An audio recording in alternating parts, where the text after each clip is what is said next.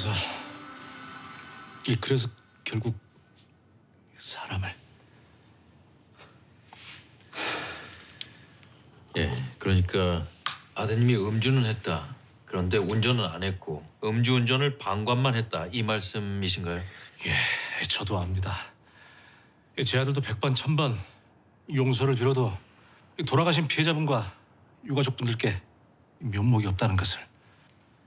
하지만 이 죄를 지은 만큼 벌을 받는 게 그게 맞는 게 아니겠습니까? 우리 준영이도 벌을 받아야 하지만은 이 운전을 한 그 친구도 이 마땅한 벌을 받아야 하늘에서 보고 있을 그 피해자분도 이 조금이라도 속죄를 하는 게 아니겠습니까, 제가? 아, 예. 그런데 어떻게 누명을 쓰게 된 겁니까? 운전을 안 했으면 조수석에 앉아 있어야 되는 거 아닙니까?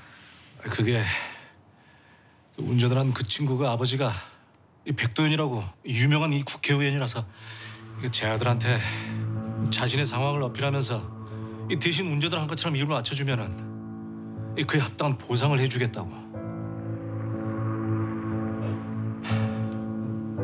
누구라고요? 뭐가요? 백도현 의원이라고 하셨습니까? 예. 그러면은 운전을 한 친구는 백승훈입니까? 이 맞습니다. 그런데 왜 그러십니까?